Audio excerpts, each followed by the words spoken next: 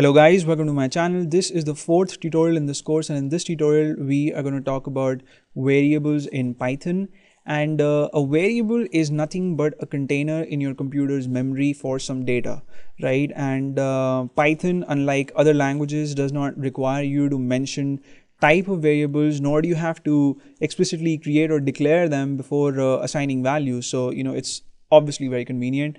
And in the last tutorial we checked out how we can create a string variable and we did create a, a few and we assigned string values to the variables as well.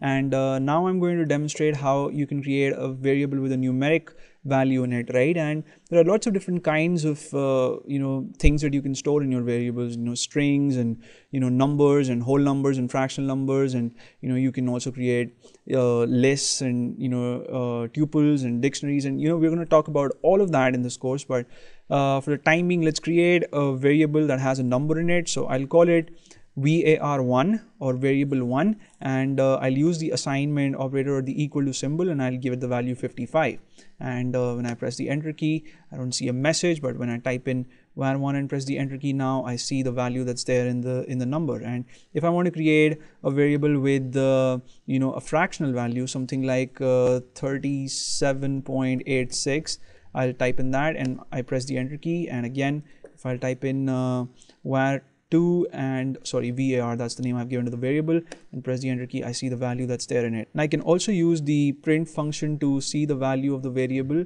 and uh, I'll type in print and within parentheses I'll just have to type in the name of the variable. So I type in var and press the enter key I see the value in it right? So the next thing that we're going to check out is how we can assign one value to multiple variables on a single line right? So let's say I want to you know assign uh, the value 100 to three variables, uh, variable 1, variable 2 and variable 3. So I'll type in var1 for variable 1 and then the equal to symbol and I'll type in var2 for variable 2, another equal to symbol and then var3 for variable 3 and then after the final assignment operator I'll type in the value that I want to assign. So if I want to assign 100, I'll type in 100 and I'll press the enter key and uh, you know if you guys are wondering that okay var1 we already created and you know we're assigning a a new value now that's that's allowed in python right? So if you that's that's actually the the purpose of having a variable. A variable can have uh, different values. You can change the values in variables whereas in a constant you know if you give it a value then throughout the life of the program the constant sticks with that value right? So now if i type in var1 uh, then i get 100 for var2 i'll get 100 again and var3 will also yield uh, 100 right? So the same value has been uh, stored in the three different variables. And uh, another thing that I want to show you guys is how you can assign values simultaneously to multiple variables, but different values, you know. So in this case, we assign the same value 100.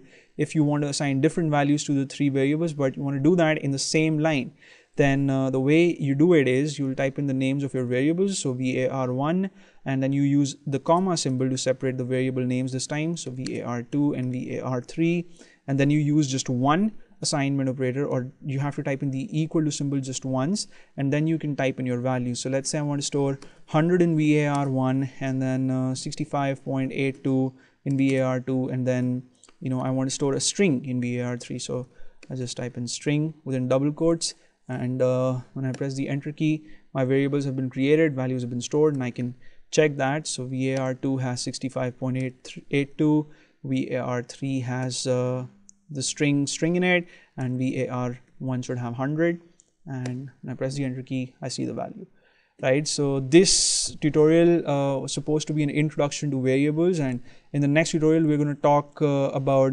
numbers and strings in, in more detail. And uh, thank you so much for watching this one. I'll see you in the next tutorial. And uh, you may subscribe to my channel if you haven't already. And uh, take care